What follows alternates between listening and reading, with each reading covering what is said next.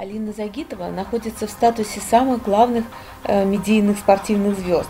Сама, конечно, она так не считает, но весь мир следит за ее карьерой.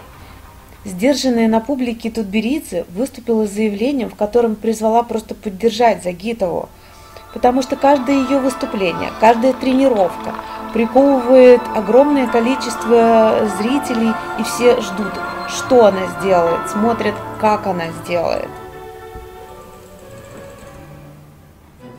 16 лет, девчонки, ребенок с олимпийской медалью, с, и с тем, что она понимает, весь мир на нее смотрит и ждет. Ну давай, девчонка, что ты теперь сделаешь? И вот это вот еще, что она там что-то, кого-то, чего-то отобрала. Этап Гран-при – это не скромный разминочный челленджер и не шоу-турнир.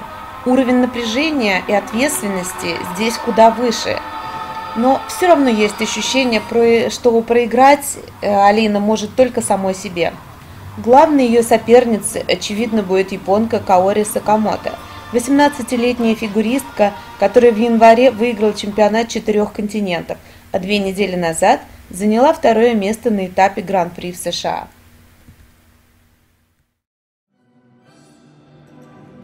Тренировка перед стартом прошла на все сто.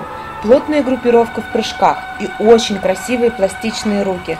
Собранная, спокойная, Алина, артистичная и уверенная в себе.